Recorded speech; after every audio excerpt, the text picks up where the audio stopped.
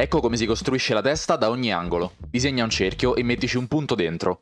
Questo è il punto in mezzo alle sopracciglia e ci indica la direzione in cui sta guardando la testa. Traccia una linea verticale che tocca questo punto. È la linea che divide a metà la faccia. Prendi l'altezza della testa e dividila a metà. Ora dividi ciascuna metà in tre parti uguali. Compreso tra questa linea e questa linea, traccia un'ellisse. Lui rappresenta la parte laterale del cranio. La sua altezza è sempre uguale. Invece è più largo più la faccia è di profilo, è più stretto se la faccia è più frontale. Questa linea è la tempia e delimita la fine del sopracciglio. Ora dividi l'ellisse a metà, in orizzontale e in verticale. La linea verticale è inclinata come questa, mentre l'orizzontale è più inclinata più è estremo l'angolo in cui guardo. Allunga una linea dalla cima, dal mezzo e dal fondo dell'ellisse. Queste sono rispettivamente fronte, sopracciglia, base del naso. Qui in basso ci va l'orecchio, disegnalo come un mezzo cuore. Ora allungati della stessa distanza in verticale e trovi il mento. Queste tre parti sono all'incirca uguali. Adesso disegna una linea per il mento, collega sopracciglio e mento da una parte, dall'altra invece allunga leggermente la verticale dell'ellisse e poi collegala al mento. Infine traccia una linea curva dal centro dell'ellisse fino al mento.